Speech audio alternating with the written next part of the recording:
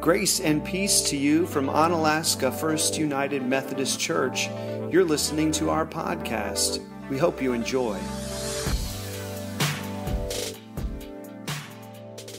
Okay, I'd like you all to stand up and greet each other this morning. And as you do, I want you to tell your neighbor what your favorite Beatles song is. Okay, bring it on back. Bring it on back. You should have thought of your favorite song by now. Elvis.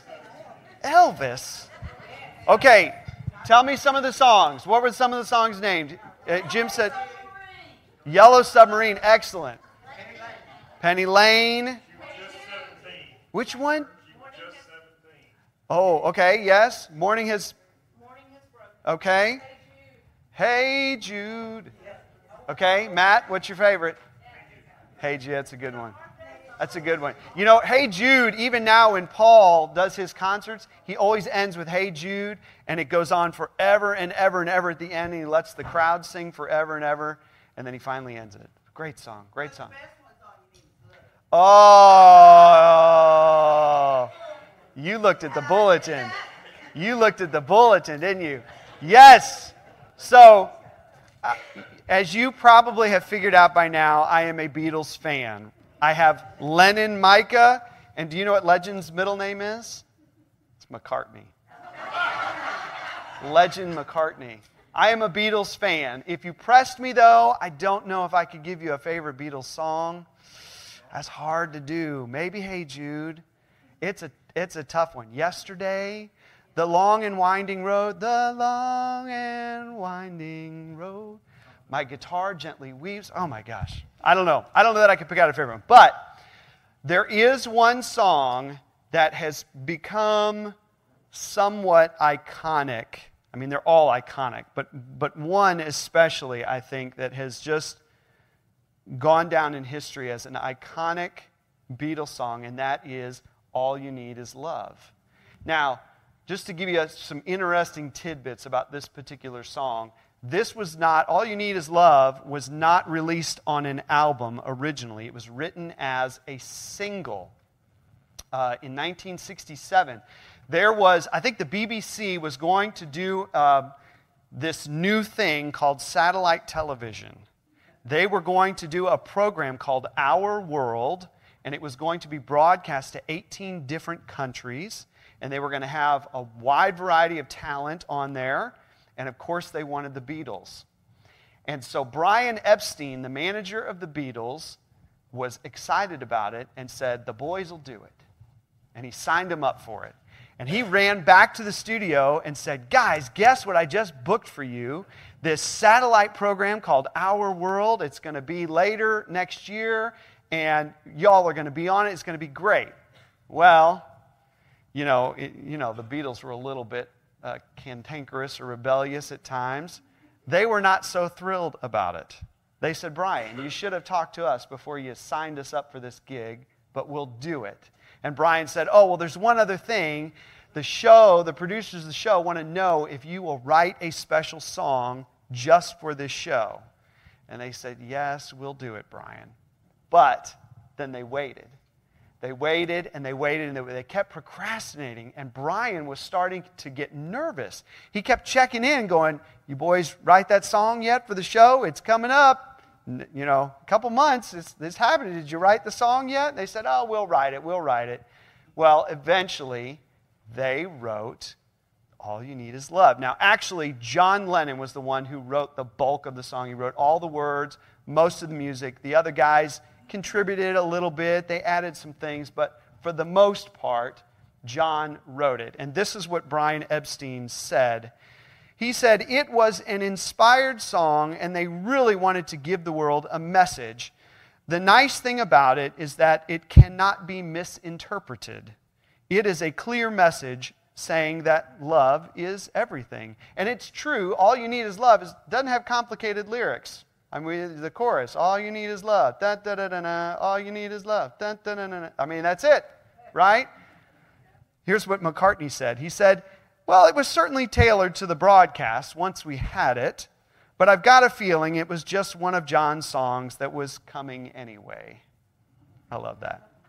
John Lennon. You know, John had his ups and downs in life, had a tragic ending, but I think in this moment, writing this song, I think John was on to something. In fact, I think he hit the nail right on the head. And even though St. Paul died 1900 years before this song was written, I think that Paul would have agreed. In fact, I think Paul probably would have been a Beatles fan had he been around. But Paul would have agreed with the notion that all you need is love. I do believe. We have been talking the last couple of weeks about Paul's thoughts on gifts and the makeup of the church. In fact, we've been looking at his letter to the church in Corinth. Uh, and you may recall that the church in Corinth was in some division. Uh, they had written a letter to Paul and said, Could you straighten this out for us? But they had been fighting about gifts. There were certain people within the church that had the ability to speak other languages. And again, we don't know if these are supernatural languages or if they just knew extra human languages. But they had this ability and they're kind of goading the others who can't speak these languages. And it was a source of strife within the church. And so Paul is trying to settle this dispute. And so two weeks ago, we looked at how Paul made the claim that everybody has received a gift. Nobody is without a gift. It just so happens some people can speak other languages, and that's their gift. But God has gifted everybody. And then last week, Paul went on to say, well, not only have you been gifted, but every single person is essential to the life of the church. If you are not using your gift, if you think that because your gift isn't somebody else's gift, then you're just going to bow out, you are tragically mistaken because God has not called you here by accident. You are here on purpose. So, this is where Paul has kind of laid out his argument. And we're going to wrap it up today, even though Paul is going to continue on for another chapter. If you would like this week, you can read chapter 14. But we are going to look at chapter 13 uh, where Paul continues his thoughts. This is the famous um, love chapter. You may have heard this, most likely in a wedding. Chapter 13, 1 Corinthians chapter 13, is almost always read at weddings. The problem is, it really was not intended for a wedding. I mean, I guess it works but Paul is not talking about the love between two people who are joining into a lifelong covenant together. He's talking to a church that's fighting over gifts. That was the context in which this is written. However, chapter 13 may be, if all you need is love, is maybe the, the most popular Beatles song. 1 Corinthians 13 may be the most popular Bible chapter in all the Bible. I don't know. When we get into it, you'll recognize, you'll start to go, oh, yes, I've heard that before. So, I would like for you, if you have your Bibles, turn to that. 1 Corinthians chapter 13. We'll start in verse 1. This is what he says If I speak in the tongues of mortals and of angels, but do not have love, I'm just a noisy gong or a clanging cymbal. And if I have prophetic powers and I understand all mysteries and all knowledge, and if I have faith so as to remove mountains, but do not have love, I am nothing. And if I give away all my possessions, and if I hand over my body so that I may boast, but I do not have love, I gain nothing. See, it's interesting here. I'm going to pause there for just a second because Paul has just spent a lot of time telling them you all have received gifts and telling them you all need to use your gifts because it forms one whole body, the church. But then he lays out this warning to them. And here is the warning the warning is he's anticipating, okay, now I've told you that you all have a gift, but just in case you think that you just go ahead and start using your gift. I've got to tell you that any gift that is exercised apart from love, you are just wasting your time. Not only are you wasting your time, you're wasting God's time, and you're wasting everybody else's time. Because using your gift apart from love doesn't do anything, it gains nothing. It is worthless. Because love is the thing which undergirds the gift that you've been given and empowers it to be fruitful for God. Love. Now, as I was writing this, I thought, was thinking, you know, in English, love is kind of a kind of a strange word, right? Because I could say, well, I love God. And you all know what I'm talking about. I love God. But then I could say, well, I love my wife. But I don't love my wife the same way that I love God. Those are two different types of love. I, I could say I love Melvin. I don't love Melvin the same way I love my wife. Those are two different types of love. Guess what? I love Snickers bars. I love Snickers bars. But I don't love Snickers bars the same way that I love God or Melvin or my wife. But yet I use the word love in all of those scenarios. So love just kind of gets thrown out there. We just kind of toss it out there, you know, in the English language, and you're just expected to know what it all means.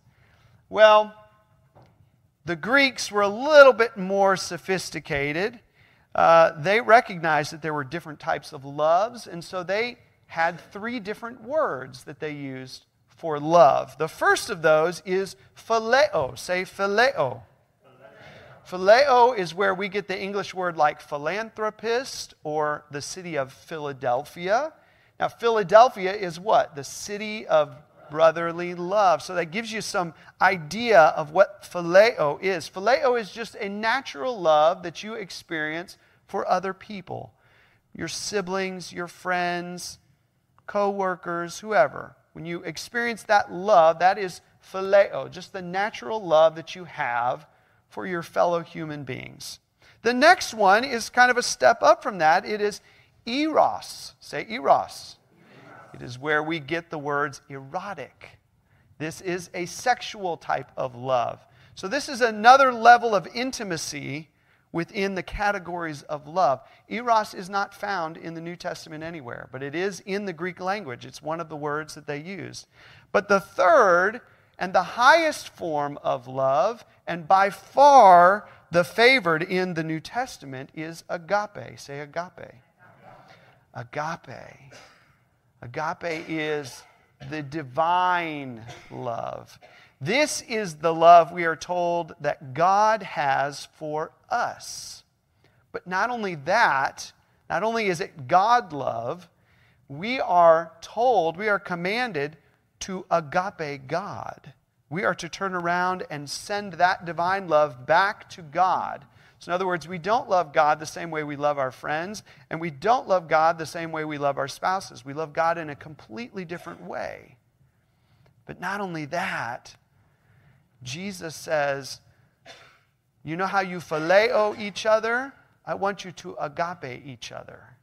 I want you to move your love your brotherly love, your friendly love, I want you to bump it up a couple notches. I want you to love each other that way. And then Jesus says, Oh, yeah, I also want you to agape your enemies. Come on, Jesus. How am I going to do that?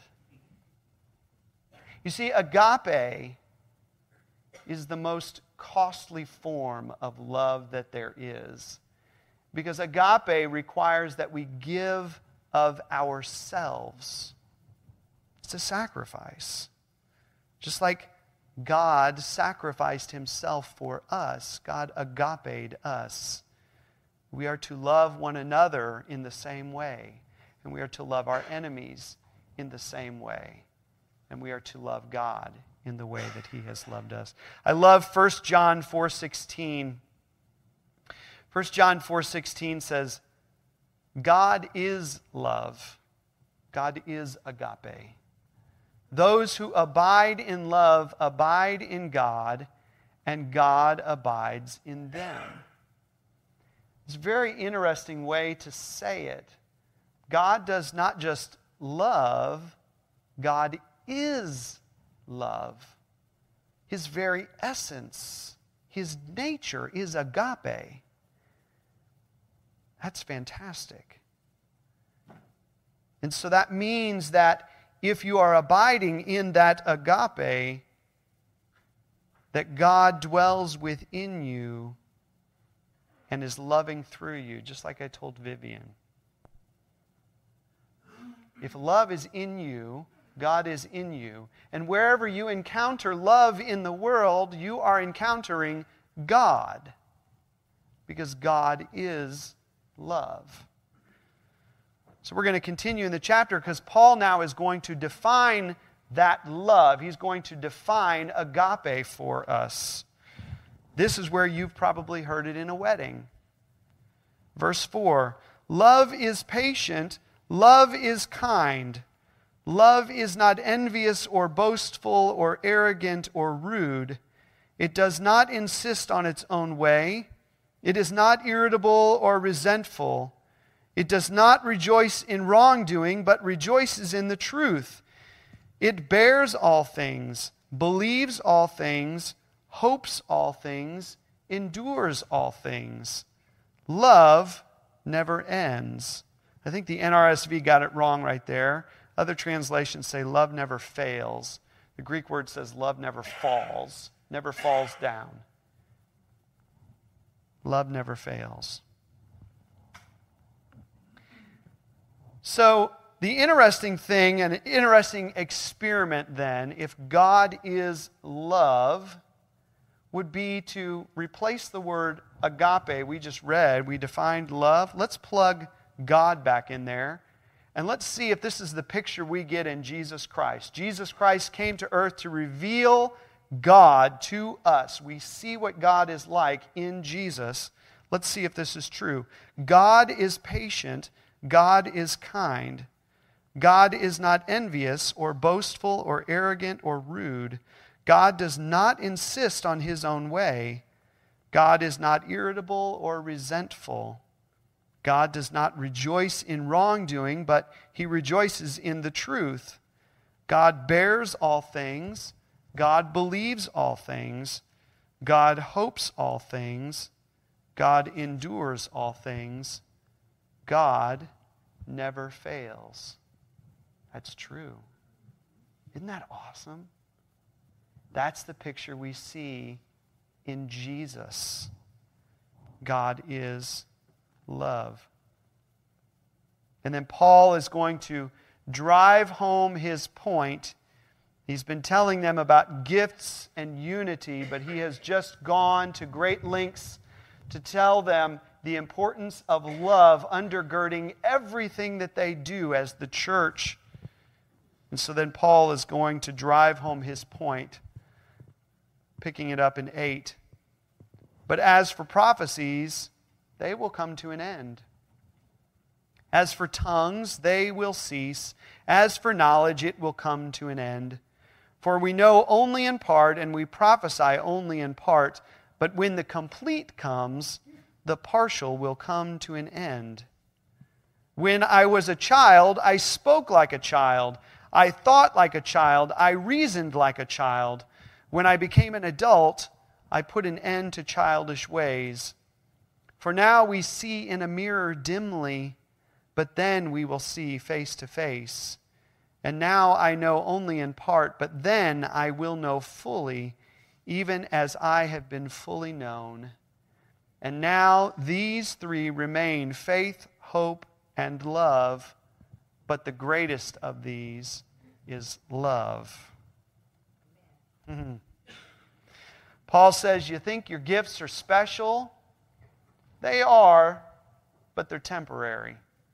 Because there's going to come a day when you don't need to prophesy anymore. You don't need to speak other languages. You don't need to be a good administrator or server or preacher or teacher or knowledgeable because we will be made like Jesus complete and whole, and in the very presence of God who is love.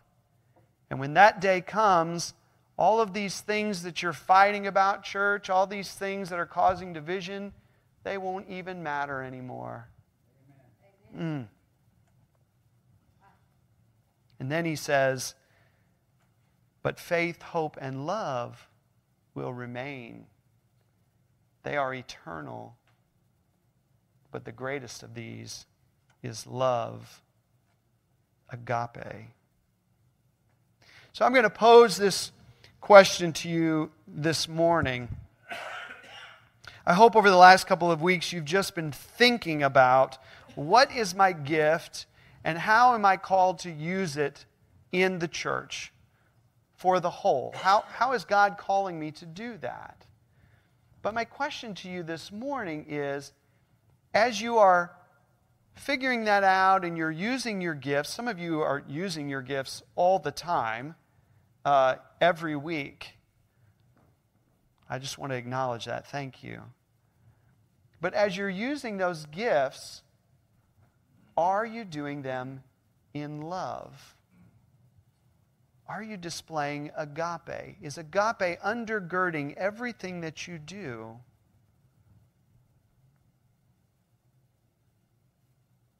When you serve each other, are you trying to be patient and kind? Are you trying to be less jealous and resentful of each other? Less boastful, less rude and irritable toward one another.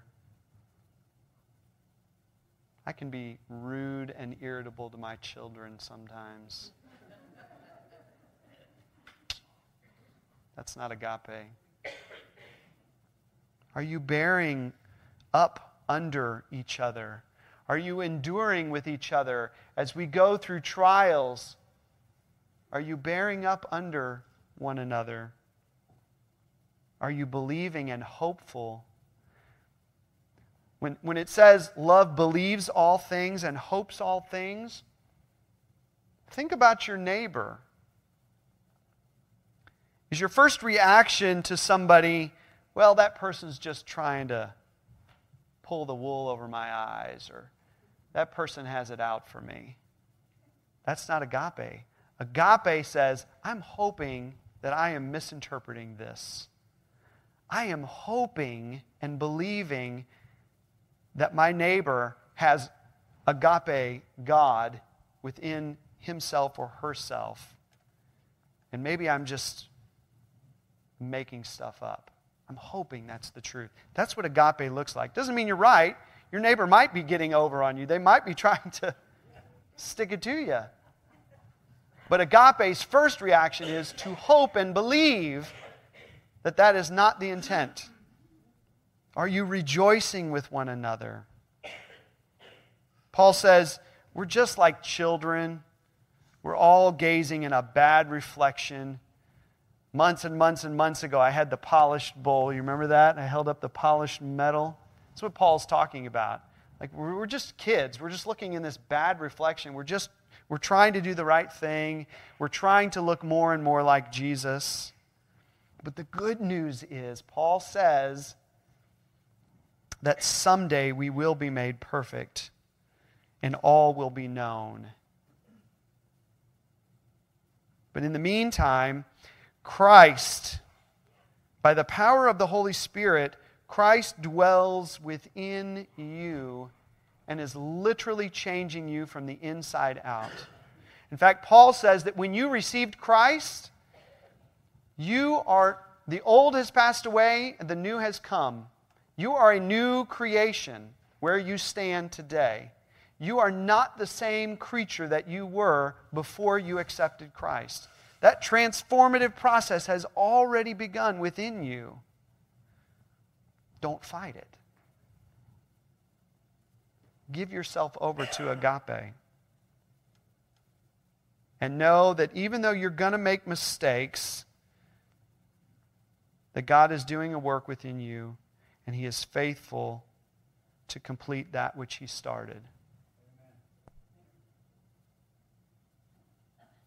see, the Beatles were right. John was right. All you need is love. If love is undergirding everything that you do, man, you can't go wrong.